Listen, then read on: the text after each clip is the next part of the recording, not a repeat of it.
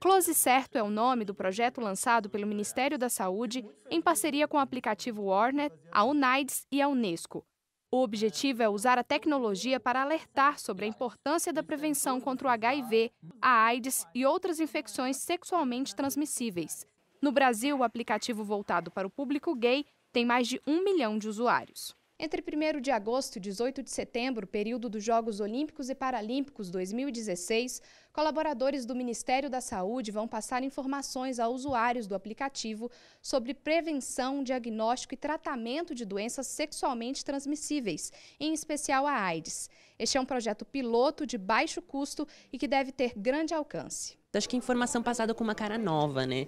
Porque eu acho que, que justamente assim a gente a gente não pode deixar com que respostas passadas continuem nos influenciando, assim elas nos influenciam, mas continue uh, ditando o tom, né? Eu acho que assim a gente tem que entender que os jovens hoje são outros, né? E a mensagem tem que ser outra, a mensagem tem que ser nova. Tem tudo para essa rede aumentar, uma rede que está começando e a gente vai estar tá em contato constante com esses colaboradores. Eles vão estar tá dando esse esse retorno para a gente de como está indo a ação, uh, como estão indo as interações quais são, foram as, as maiores dúvidas. Que eh, eles tenham uma conversa franca, que eles possam ter uma conversa franca com um par, com uma pessoa, um jovem também, com um jovem é, de população que a gente considera mais vulnerável, que são jovens gays e outros homens que fazem sexo com homens. Então esperamos que essa conversa seja bastante franca e que tenha o maior alcance possível. É um projeto piloto e esperamos aí, depois das Olimpíadas, conseguir aumentar para um público maior. Os colaboradores serão sinalizados no aplicativo com a marca d'água da campanha Close Certo.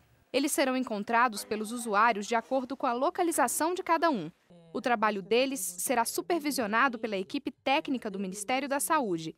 Além da interação com os promotores, o Ornet enviará mensagens para todos os usuários da rede. A mensagem ela vai ser inicialmente dada para mais de um milhão de usuários brasileiros. E vai, essa mensagem vai ser dada pelo próprio aplicativo, falando das Olimpíadas, que é necessário se prevenir, é, mensagens sobre a questão da prevenção combinada, sobre PEP e principalmente aonde que a pessoa pode buscar assistência caso aconteça algum tipo de é, intercorrência.